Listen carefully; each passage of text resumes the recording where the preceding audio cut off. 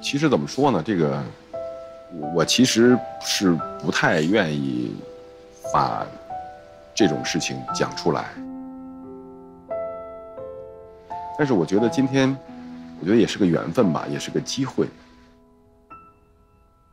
当时我们准备是十一结婚，然后呢，我们把所有的细节呀、策划案呀，包括所有所有的东西，全部都已经准备好了。然后呢，九月份呢，我就去拍戏去了。结果刚到剧组，这行李还没打开，海陆就给我来一电话，然后他就跟我讲，他说：“你你要做 做好心理准备，你要挺得住。”我这一听，我这心里就咯噔一下，我说：“我说啊，你说吧。”他说：“弟弟走了。”没了。然后我当时呢，确实不相信这是真的。我说：“谁跟你说的？”他说：“兰州那边确定。”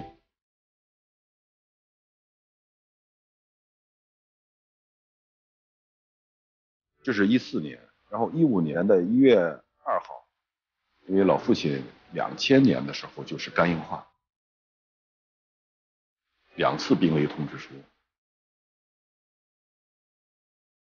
那么等于是在一五年的元元月二号吧，老头就走了。等于先后的这个一百多天的时间里面，我们原始的家庭四个人，等于少了一半。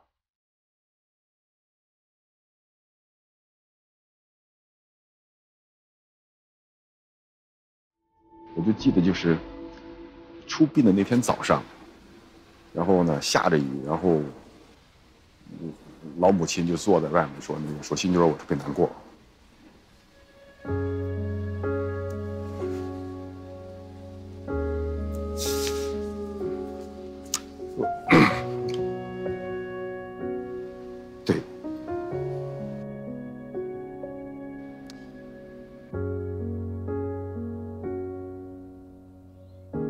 我现在也能听明白为什么海璐姐说她不想再看到你回忆这些事情。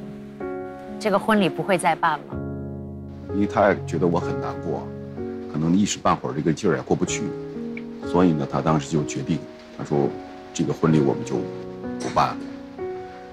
所以我总觉得呢，心里面还是会有一些愧疚。